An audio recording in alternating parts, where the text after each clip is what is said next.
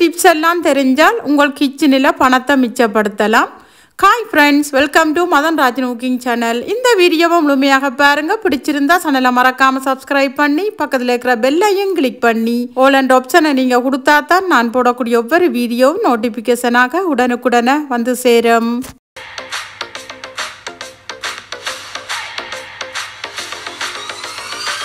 Tips number one நாங்கள் பழங்கள் அடிக்கடி வாங்குவது வழக்கம். அந்த பழங்களை பிள்ளைகள் சில வேளையில் கேட்கணும். அல்லது நாங்கள் சாப்பிட்றதுக்கு தண்ணிலும் பார்த்தீங்களென்றால் இந்த பழத்தை சாதாரணமாக ஒரு தண்ணியில் அலசி போட்டு நாங்கள் அதை வெட்டி சாப்பிடுவோம்.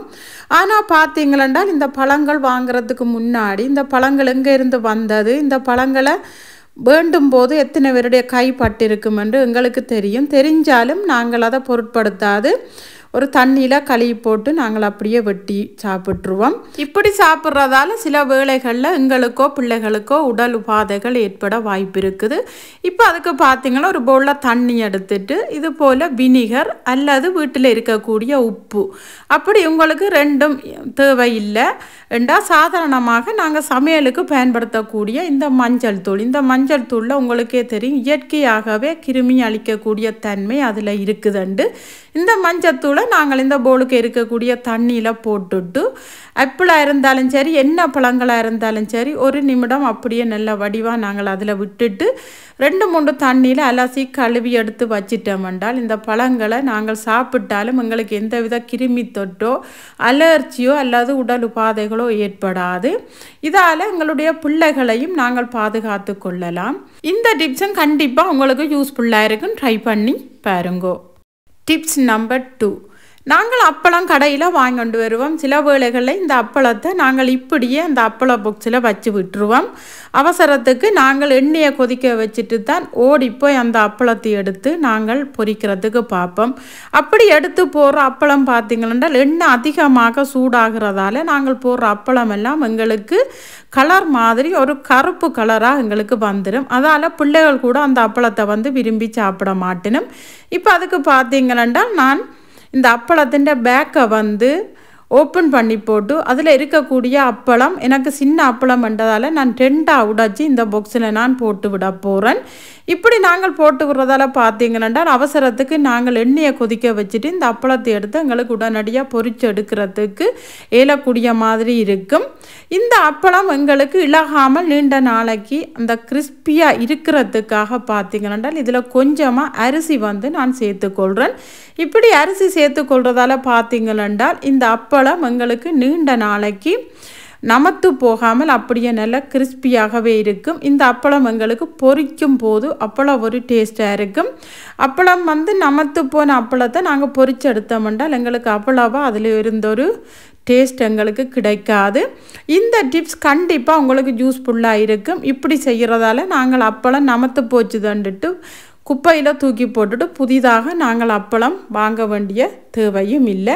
இந்த டிப்ஸும் கண்டிப்பாக உங்களுக்கு யூஸ்ஃபுல்லாக இருக்கும். ட்ரை பண்ணி பாருங்கோ. டிப்ஸ் நம்பர் த்ரீ நாங்கள் வீட்டில் வச்சுருக்கக்கூடிய பருப்பு வகையோ அல்லது ஏதாவது ஒரு தானிய வகையோ நாங்கள் போத்தலில் போட்டு அப்படியே மூடி வச்சிருவோம். கொஞ்ச நாள் செல்ல பார்த்தீங்கன்னா அதில் இருந்து வண்டு புழு பூச்சிகள் வர ஆரம்பிக்கும். அப்படி வந்தால் நாங்கள் அதை தூக்கி அப்படியே போட்டுட்டு திருப்பி நாங்கள் கடையில் புதுசாக வாங்கிட்டு வருவோம்.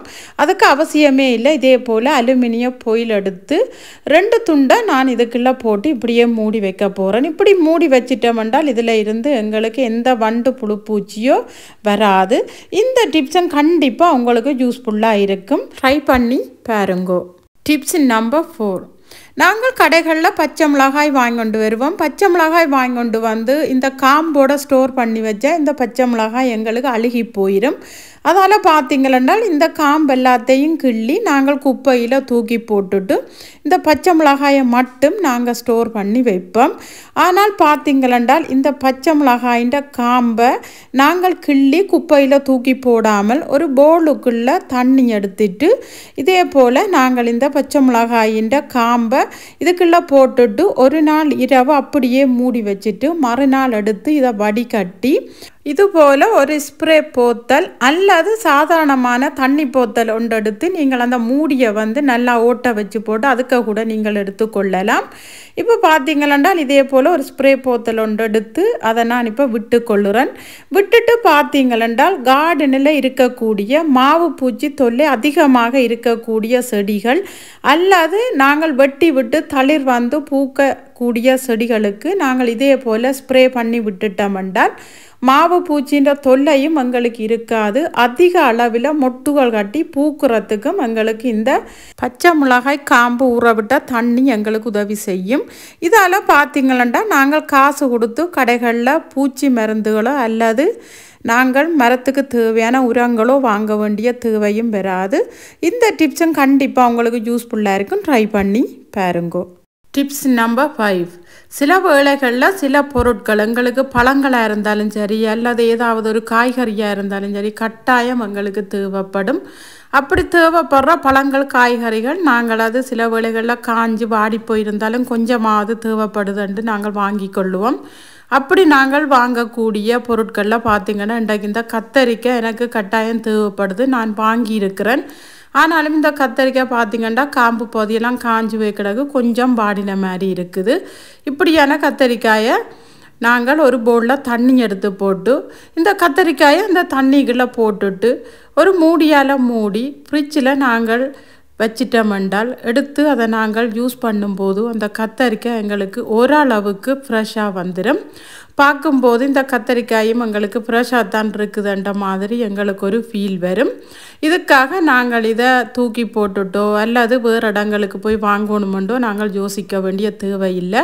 வீட்டில் இருக்கக்கூடிய கத்தரிக்காயை நாங்கள் இதே போல் செய்து கொள்ளலாம். சில வேளைகளில் நாங்கள் வாங்கி வச்சுட்டு மறந்து போடுவோம் அல்லது நாள் போன கத்திரிக்காயை என்னடா வாடிட்டுது காஞ்சிட்டுதுன்ட்டு தூக்கி போட்டுடுவோம். அப்படி அவசியமே இல்லாமல் நாங்கள் இதே போல் தண்ணிக்க போட்டு ஃப்ரிட்ஜில் வச்சுட்டு திருப்பி அதை நாங்கள் யூஸ் பண்ணினோம்னா ஃப்ரெஷ்ஷாகவே இருக்கும். இந்த டிப்ஸும் கண்டிப்பாக யூஸ்ஃபுல்லாக இருக்கும். ட்ரை பண்ணி பாருங்கோ. ஓகே ஃப்ரெண்ட்ஸ் இந்த டிப்ஸில் கண்டிப்பாக ஒரு டிப்ஸாவது உங்களுக்கு யூஸ்ஃபுல்லாக இருந்திருக்குமென்று நினைக்கிறேன். என்ன மாதிரி யூஸ்ஃபுல்லான டிப்ஸ் அண்ட் ட்ரிக்ஸோடு உங்களை நான் சந்திக்கிறேன். இந்த வீடியோ உங்களுக்கு பிடிச்சிருந்தா லைக் கமெண்ட் ஷேர் பண்ணுங்க. மறக்காமல் சப்ஸ்கிரைப் பண்ணுங்க. அப்படியே பக்கத்தில் இருக்கிற பெல்லையும் கிளிக் பண்ணுங்க. அப்போ தான் நான் போகிற வீடியோ உங்களை வந்து சேரும். Okay bye bye